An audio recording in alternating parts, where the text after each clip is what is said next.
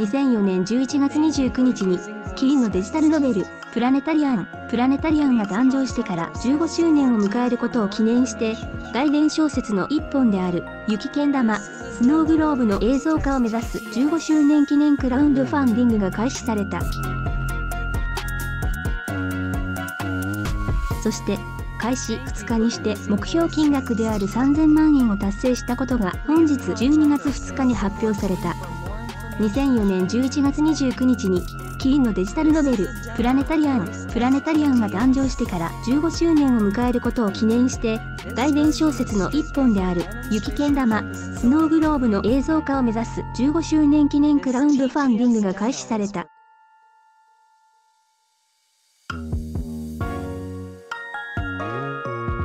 そして、開始2日にして目標金額である3000万円を達成したことが本日12月2日に発表された。プラネタリアンは、カノン、AIR、クラなどで知られるキービジュアルアーツが2004年に発売したデジタルノベル。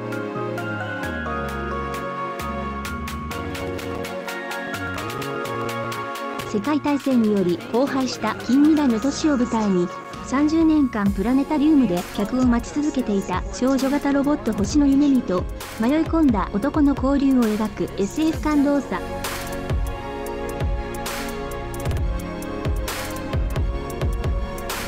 そのプラネタリアンの外伝小説である雪けん玉スノーグローブの映像化を目指す15周年記念クラウンドファンディングが11月29日より開始された。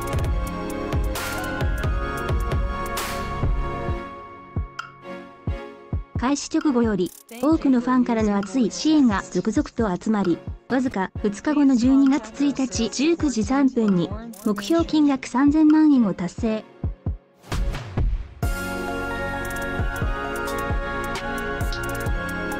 プラネタリアンから雪けん玉、スノーグローブ OVA の制作が決定した。RR プラネタリアンから雪けん玉、スノーグローブ OVA 化プロジェクトクラウドファンディング開催決定。アニメーション制作は、配信劇場版プラネタリアンを制作したデイビッドプロダクションのスタッフが新たに立ち上げたスタジオ、オクルトノボルが担当。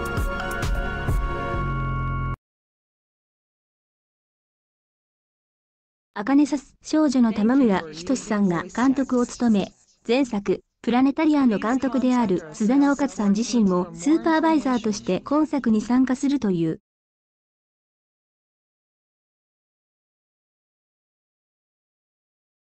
キャラクターデザインには竹地ひとみさん、脚本には安川翔吾さんほか、前作に関わったスタッフが数多く参加することが決定している。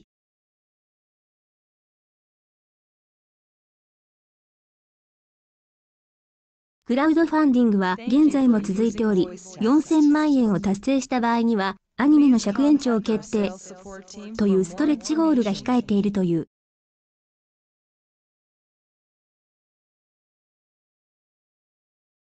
募集終了まで残り54日。支援がどこまで広がるのかにも注目だ。作品概要、プラネタリアンから雪けん玉。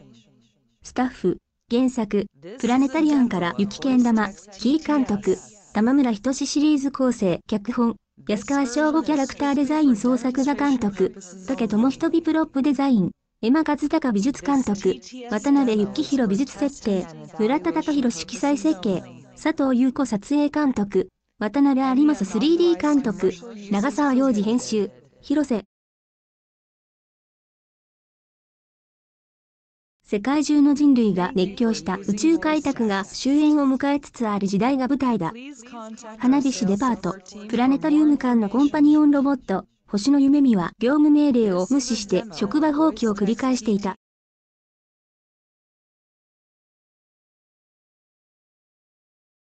プラネタリアンは、カノン、AIR、クラなどで知られるキービジュアルアーツが2004年に発売したデジタルノベル。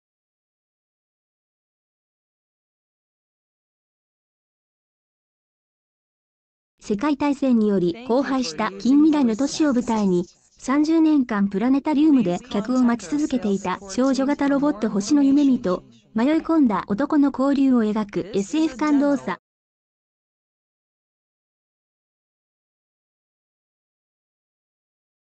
そのプラネタリアンの外伝小説である、雪剣玉、スノーグローブの映像化を目指す、15周年記念クラウンドファンディングが11月29日より開始された。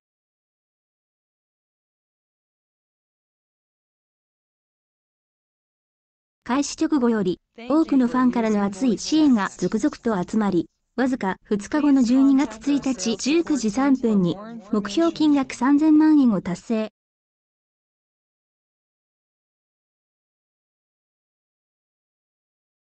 アカネサス少女の玉村仁さんが監督を務め、前作、プラネタリアンの監督である須田直勝さん自身もスーパーバイザーとして今作に参加するという。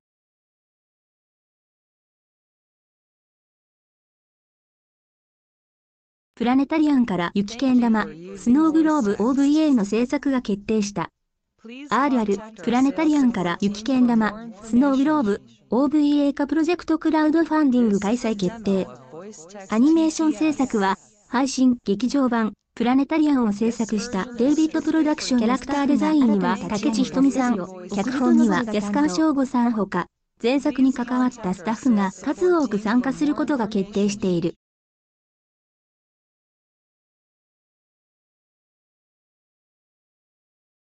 クラウドファンディングは現在も続いており、4000万円を達成した場合には、アニメの尺延長決定というストレッチゴールが控えているという。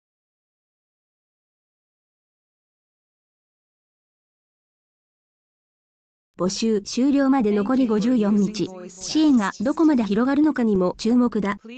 作品概要、プラネタリアンから雪剣玉。スタッフ、原作、プラネタリアンから雪剣玉、キー監督、玉村仁シリーズ構成、脚本、安川翔吾キャラクターデザイン創作画監督、竹智人美プロップデザイン、江間和孝美術監督、渡辺幸宏美術設定、村田隆弘色彩設計、佐藤優子撮影監督、渡辺有正 3D 監督、長沢洋二編集、広瀬、世界中の人類が熱狂した宇宙開拓が終焉を迎えつつある時代が舞台だ。花火師デパート、プラネタリウム間のコンパニオンロボット、星の夢見は業務命令を無視して職場放棄を繰り返していた。